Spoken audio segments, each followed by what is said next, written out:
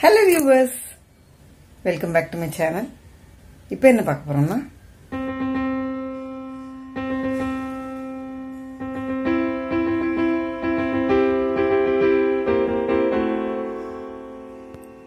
இன்னைக்கு நவராத்திரி நைவேத்தியத்துக்கு பச்சை பயிறு ஸ்வீட் சுண்டல் பண்ணலான்னு.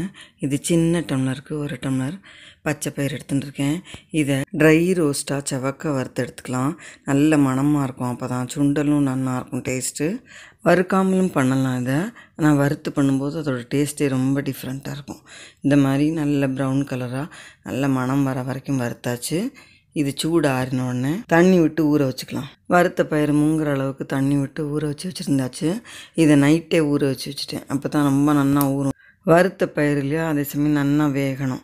ரெண்டு தரம் களைஞ்சிட்டு நல்லா மூங்குற அளவு தண்ணி விட்டு இதை குக்கரில் வச்சு மூணு விசில் விட்டு எடுத்துக்கலாம். நல்ல குழைவாக வேகணும். மூணு விசில் விட்டு ஸ்டீம் அடங்கி வெளியில் எடுத்தாச்சு. ஜோராக வெந்திருக்கு பாருங்க. மையாக வெந்திருக்கு. இப்போது இதுக்கு வெள்ளத்தை கரைய விட்டுக்கலாம். இது சின்ன டம்ளரில் ஒரு டம்ளர் எடுத்திருந்தேன். இதுக்கு ஒன்றரை டம்ளர் வெள்ளத்தை கரைய விட்டுருக்கேன். அரை டம்ளர் தண்ணி விட்டு இது கரைஞ்சதும் வடிகட்டி எடுத்துக்கலாம். இப்போ வடிகட்டின வெள்ளத்தை திரும்ப கொதிக்க விட்டுக்கலாம். ரொம்ப பாகுபதம்லாம் பார்க்கணுங்கிறது இல்லை பச்சை வாசனை போக கொதிக்கட்டும். பச்சை வாசனை போக நல்லா கொதிக்க ஆரம்பிச்சிடுது இப்போது வெந்து வச்சுருக்கிற இந்த பயிரை இதில் சேர்த்துடலாம். இதை நல்லா கலந்து விட்டு வரல விடலாம். வெல்லம் திக்காக இருந்தால் கூட இது போட்ட உடனே கொஞ்சம் நீர்த்துக்கும். அப்புறம் இதை இப்போ கொஞ்சம் கொஞ்சமாக இது வத்த ஆரம்பிச்சிடுத்து. நல்லா வரலணும் அது. இப்போ அஞ்சு நிமிஷத்தில் ஓரளவு நல்லா வறந்தாச்சு. இப்போது ஃப்ரெஷ்ஷாக துருவின தேங்காய் துருவல். எவ்வளோ வேணாலும் போட்டுக்கலாம். நான் ஒரு கைப்பிடி அளவு போட்டிருக்கேன்.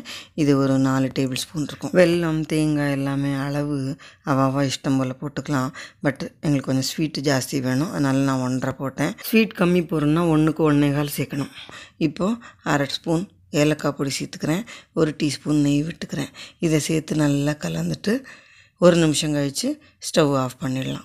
நம்ம டேஸ்டியான ஸ்வீட் சுண்டல் ரெடி. நாங்கள் இதுக்கு தொட்டில் பயிருன்னு சொல்லுவோம். குழந்தைய தொட்டிலில் போடுறதே தொட்டிலில் கால் பக்கத்தில் இந்த சுண்டலை ஒரு கிண்ணத்தில் வைப்பா. இது பாசிப்பருப்பு சுண்டல். அதாவது பயத்தம் பருப்பு. ஒரு அழகு பருப்பை ரெண்டு தடவை அலசிட்டு அரை மணி நேரம் ஊற வச்சு வச்சுருந்தேன். தாளிக்கிறதுக்கு ஒன்றரை டீஸ்பூன் தேங்காய் விட்டுருக்கேன். இதில் ஹாஃப் டீஸ்பூன் கடுகு ஒரு பச்சை மிளகா பொடியாக நறுக்கிறது கொஞ்சம் கருவேப்பிலையும் கிள்ளி வச்சுருக்கேன் சேர்த்து. கொஞ்சம் பெருங்காயப்பொடியும் சேர்த்து கடுகு வெடித்ததும் இந்த ஊற வச்சுருக்கிற பருப்பை இதில் சேர்த்துடலாம். கொஞ்சமாக தண்ணி விட்டு ஹாஃப் டீஸ்பூன் மஞ்சள் பொடி போட்டு கொஞ்ச நேரம் வேக விடலாம். இந்த பயத்தம்பருப்பு சீக்கிரம் வெந்துடும். நல்லா மலர்ந்து வெந்தாச்சு. இப்போது இந்த சுண்டலுக்கு தேவையான உப்பை சேர்த்துக்கிறேன். ஜாஸ்தி இது உப்பு தாங்காது பார்த்து போட்டுக்கணும். எந்த வித பிளானிங்கும் இல்லாமல் சட்டுன்னு பண்ணிடலாம். இப்போது ஒரு கைப்பிடி அளவு ஃப்ரெஷ்ஷாக துருவின தேங்காய் துருவல் சேர்த்துக்கிறேன். தேங்காய் துருவல் சேர்த்துக்கிறதெல்லாம் உங்கள் விருப்பம் போல் சேர்த்துக்கலாம். இதை கொஞ்சம் கலந்து விட்டுட்டு ஸ்டவ் ஆஃப் பண்ணிடலாம். நீங்கள் விருப்பப்பட்டால் இதில் ஹாஃப் லெமன் ஜூஸ் புழிஞ்சிக்கலாம். நான் புழியலை. இன்றைக்கி நைவேத்தியம் இந்த தொட்டில் பயிறு சுண்டல் பாசிப்பருப்பு சுண்டல் பயத்தம்பருப்பு சுண்டல் ரெண்டுமே ரெடி ரெண்டுமே ரொம்ப ஈஸியாக பண்ணிடலாம். பயத்தம்பருப்பு கடலைப்பருப்பு ரெண்டுமே பிளானிங் இல்லாமல் பண்ணுறதுக்கு ரொம்ப சௌகரியமாக இருக்கும். உடம்புக்கும் ரொம்ப நல்லது. வியூஎஸ் கண்டிப்பாக ட்ரை பண்ணி பார்த்துட்டு உங்கள் ஃபீட்பேக்லாம் போஸ்ட் பண்ணுங்க. நவராத்திரியில் பலகாரத்துக்கு புழுங்கல் அரிசிலாம் சேர்க்கறதில்ல. பச்சரிசி பலகாரம் தான் அதுக்கு பச்சரிசி மாவு அரைச்சி வச்சுக்கிறது இட்லி தோசைக்கு. அதுதான் இப்போ காட்ட போகிறேன் நாலு அழாக்கு பச்சரிசி எடுத்துட்டுருக்கேன் சாப்பாட்டு பச்சரிசி ஆனாலும் சரி மாவு பச்சரிசி ஆனாலும் சரி நான் மாவு பச்சரிசி எடுத்துட்டுருக்கேன் இதை தண்ணி விட்டு நினச்சி வச்சுக்கலாம். நாலு அழாக்குக்கு ஒரு அழாக்கு உளுத்தம்பருப்பு எடுத்துக்கிறேன். இது கூடவே ஒரு டேபிள் ஸ்பூன் அளவு வெந்தயம் சேர்த்துக்கலாம். ரெண்டுலேயுமே தண்ணி விட்டு வச்சுக்கலாம். உளுந்தில் ரெண்டு தடவை களைஞ்சிட்டு நல்ல தண்ணியில் தான் ஊற வச்சுருக்கேன். இந்த தண்ணியை விட்டே உளுந்து அரைச்சிக்கலாம். அரிசி உளுந்து ரெண்டுமே குறைஞ்சது ரெண்டு மணி நேரமாவது ஊறணும். உளுந்த ஒன்றரை மணி நேரம் ஊறினதுக்கப்புறம் ஃப்ரிட்ஜில் எடுத்து வச்சுட்டு அப்புறம் அரை மணி நேரம் கழித்து அரைக்கும் போது அந்த வாட்டர் கூலாக இருக்கும் உளுந்தும் ஃப்ளஃபியாக இருக்கும். ஒன்றரை மணி நேரம் வெளியில் ஊறிட்டு அப்புறம் அரை மணி நேரம் ஃப்ரிட்ஜ்லேயும் வச்சு எடுத்து இப்போ அரைக்க எடுத்துருக்கேன். மிக்சியில் சேர்த்துக்கிறேன். இந்த தண்ணியை விட்டு அரைச்சின்னு வரலாம். உளுந்து அரைச்சின்னு வந்துட்டேன். நல்லா ஃப்ளஃபியாக அரைஞ்சிருக்கு. இப்போ மிக்சியில் அரைக்கிறது எப்போதுமே முதல்ல உளுந்து அரைச்சா அதே சமயம் ஐஸ் வாட்டரை விட்டு அரைக்கும் போது மிக்சியும் ஹீட் ஆகாது. உளுந்தும் நல்ல கணிசமாக நல்ல ஃப்ளஃபியாக அரைப்படும். இப்போ உளுந்த மாவை ட்ரான்ஸ்ஃபர் பண்ணியாச்சு. இப்போ அரிசியை ரெண்டு தடவை களைஞ்சிட்டு மிக்சியில் சேர்த்துக்கிறேன். அரிசி நாலு அழகு இல்லையா? அதனால் ரெண்டு வாட்டி அரைச்சிக்கலாம். அரைச்சி எடுத்துட்டேன். இட்லிக்கும் சேர்த்து அரைச்சிருக்கிறதுனால ரொம்ப வழுமூன்னு அரைக்கலை. லைட்டாக ஒரு ரவப்பாக தான் இருக்கும். அந்த மாதிரி தான் அரைச்சி எடுத்துட்டுருக்கேன். இதை உளுத்த மாவோட சேர்த்து மிக்ஸ் பண்ணிக்கலாம். ரெண்டாவது வாட்டியும் அரைச்சாச்சு இதையும் மிக்ஸ் பண்ணிக்கிறேன். இந்த தோசை மாவுக்கு தேவையான உப்பு சேர்த்து நல்ல கையால் ஒன்று போல் கலந்து விடணும். இந்த மாதிரி கரைச்சி வச்சாச்சு. இதை மூடி புளிக்க வைக்கணும். அப்போ தான் அவங்களுக்கு இட்லி சாஃப்டாக வரும். பச்சரிசிங்கிறதுனால நல்லாவே பொங்கி புளிக்கணும். இல்லைன்னா கடுக்கும். காலமே அரைச்சது.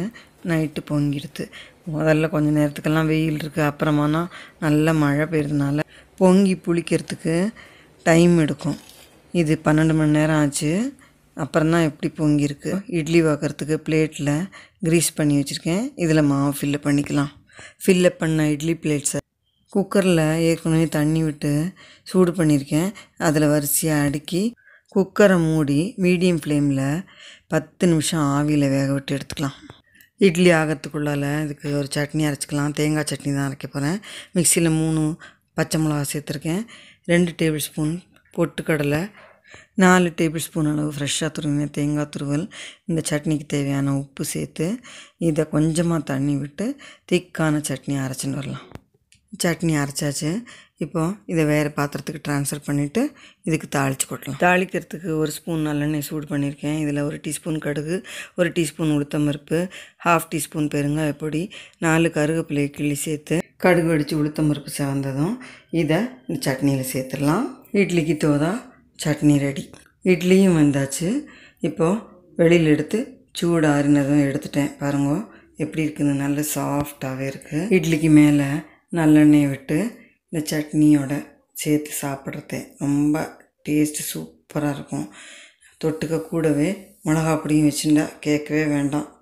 ரொம்ப ஜோராக இருக்கும். மிக்சியில் தான் அரைச்சிருக்கேன். அப்போ கூட இட்லி ரொம்ப நல்ல சாஃப்டாக இருக்குது நம்ம சேனலில் ஏற்கனவே ஒரு பச்சரிசி இட்லி செஞ்சு காமிச்சிருக்கேன். அதில் பச்சரிசியை ட்ரை ரோஸ்ட்டாக பால் வெள்ளை கலரில் மாறுற அளவுக்கு வறுத்துட்டு வெந்நீர் விட்டு நனைச்சி ஊற வச்சு அப்புறம் அரைச்சி பண்ணி காமிச்சிருந்தேன்.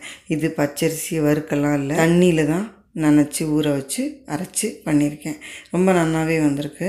இந்த சட்னியும் சூப்பராக இருக்கும். இட்லிக்கு சட்னி பெஸ்ட் காம்பினேஷன் இல்லையா? யூஎஸ் கண்டிப்பாக ட்ரை பண்ணி பாருங்க. அங்கம் ஹரேஹே புலகபூஷணமாஸ்ரயந்தி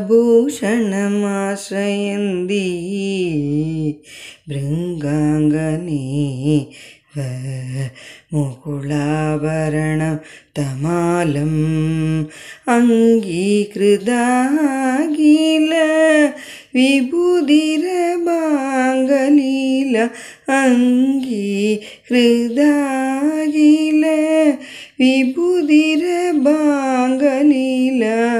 माङ्गल्यदास्तु मम मङ्गलदेवदायाः माङ्गल्यदास्तु मम मङ्गलदेवदायाः देवदाय मुहुर्विदधति